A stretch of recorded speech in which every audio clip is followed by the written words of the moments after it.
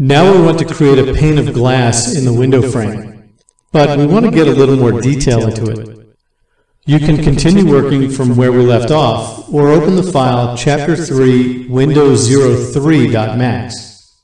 In order to create the pane of glass, we're going to use a tool called the bevel tool. In the graphite modeling tools, make sure you're in the polygon subobject level. If you don't have access to the graphite modeling tools, Make sure the Modify panel in the Command panel is currently active and your model is selected. In the Graphite Modeling Tools, Polygons panel, click on the down arrow next to the Bevel tool and select the Bevel Settings from the drop-down list.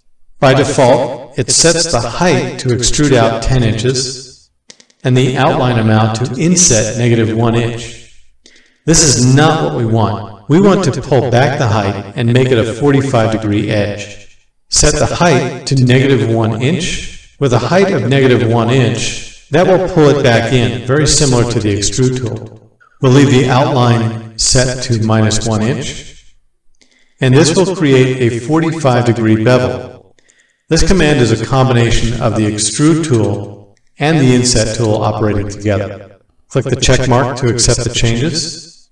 This polygon now becomes the window pane. We want to change the material ID for this polygon to 4. Again, we do this by clicking in the Graphite Modeling Tools on the down arrow in the Properties panel and selecting the Material IDs tool. In the Set ID, increment the value until the material ID is 4. Click the spinner until the value is set to 4. Keep the Material ID dialog open. Now to add a little bit more detail to our window frame, that's the 8-inch frame around the window. We want to select those polygons that make up that 8-inch window frame. Here's where using the option of Select IDs comes in very handy. We've already assigned material ID number 2 as we created the geometry for the window frame.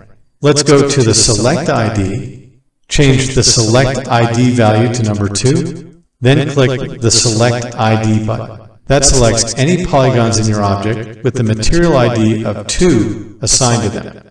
Currently, the only ones we have are the 8-inch window frame polygons. We're going to use the extrude settings to bring these polygons away from the building a little.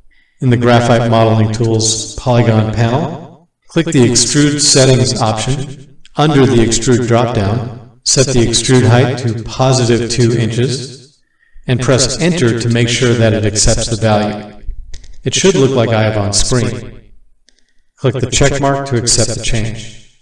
We'll add a little bit more detail in the Graphite Modeling Tools Polygon panel.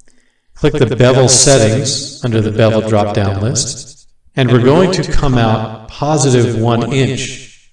Just delete the negative sign in front of the height, and keep the outline amount to negative 1 inch that gives us a 45 degree bevel around the outer and inner edges of the window frame.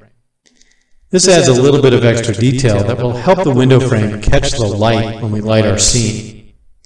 In many cases, adding these simple elements can dramatically increase the visual quality of your rendered scene.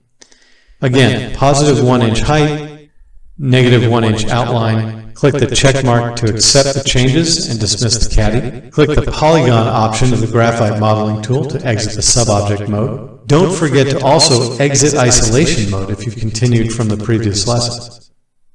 Press Ctrl S to save your file, or you may increment your file if you choose to. We've built a very efficient window into this polygon model by working one polygon at a time. It's also possible to create multiple windows in the same way very easily using the graphite modeling tools.